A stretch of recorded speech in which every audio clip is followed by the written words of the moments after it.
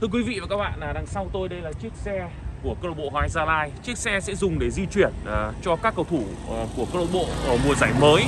à, với một diện mạo rất là mới mọi người có thể thấy đây là những cái kiểu ăn mừng khá quen thuộc trong mùa giải vừa rồi của các ngôi sao như là Văn Toàn, Xuân Trường, Công Phượng, Minh Vương, Văn Thanh rồi các cầu thủ khác ờ, ở đây thì không biết là mọi người có nhận ra ai là sói hay là dân hay không nhưng điều đó mình nghĩ rằng là không quá quan trọng à, với những cái diện mạo mới cái sự đầu tư đến hàng tỷ đồng cho một chiếc xe di chuyển như thế này thì ờ, đánh dấu một cái khát khao rất là lớn của anh Gia Lai trong việc là chinh phục chức vô địch V-League cũng như là ở mùa giải mới.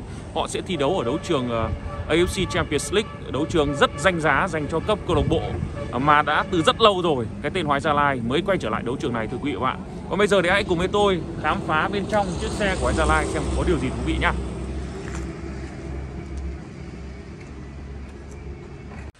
Vâng, điểm nhấn lớn nhất, nổi bật nhất dễ dàng nhận ra là ở phần thân xe có một số những cầu thủ của Hoài Gia Lai. 2, 4, 6, 8 cầu thủ Văn Toàn, Xuân Trường, Hồng Duy, Văn Thanh Washington Brandao, Minh Vương, Hữu Tuấn và Công Phượng đang ăn mừng theo phong cách ma sói. Xuống cuối xe chúng ta có thể thấy rằng à, đây là điểm nối và tạo ra logo cũng rất là độc đáo của thiết kế chiếc xe này. Logo Red Bull nhà tài trợ của câu bộ Hoài Gia Lai. Chúng ta sẽ cùng lướt một vòng để nhìn qua tổng thể bên ngoài.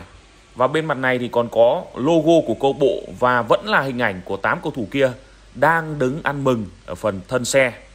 Đầu xe thì chúng ta có thể thấy rằng là màu vàng và bên dưới thì cũng có logo của câu bộ Hoài Gia Lai.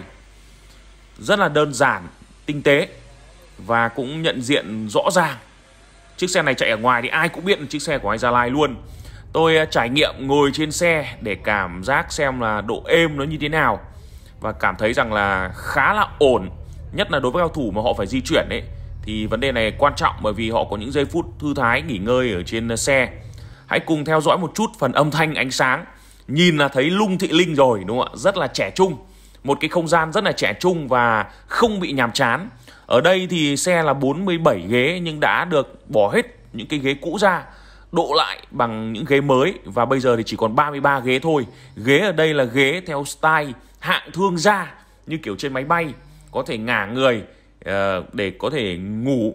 Bên cạnh đó thì ghế rất là êm và to, có cả chỗ để chân. Vâng, hai chỗ để chân luôn. Không khác gì chúng ta đi máy bay hạng thương gia cả.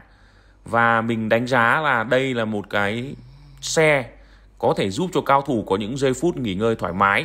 Bên cạnh đó thì mỗi chỗ đều có hai cổng USB để mọi người có thể sạc điện thoại.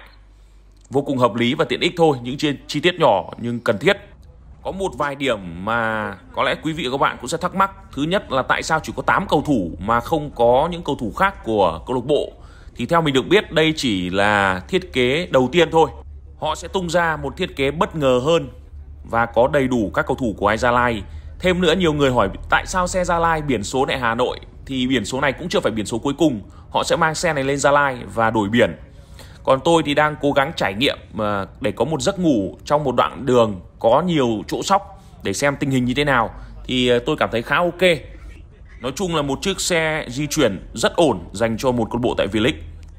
Thưa quý vị, tôi đang à, có mặt trong à, bên trong chiếc xe di chuyển của câu bộ Hoàng Gia Lai. À, chiếc xe này sẽ được sử dụng từ mùa giải mới cái quan trọng ấy chiếc xe này thì mình nghĩ rằng là đánh dấu một cái uh, cột mốc cũng quan trọng với câu bộ Hoàng Gia Lai. Họ trở lại đấu trường uh, châu Á AFC Champions League ở mùa giải 2022 2023 ngoài ra thì họ cũng đặt mục tiêu là sẽ vô địch V-League 2022-2023 sau một mùa giải mà chúng ta phải nói rằng là vì dịch bệnh là V-League của chúng ta đã phải bị hủy bỏ giữa chừng.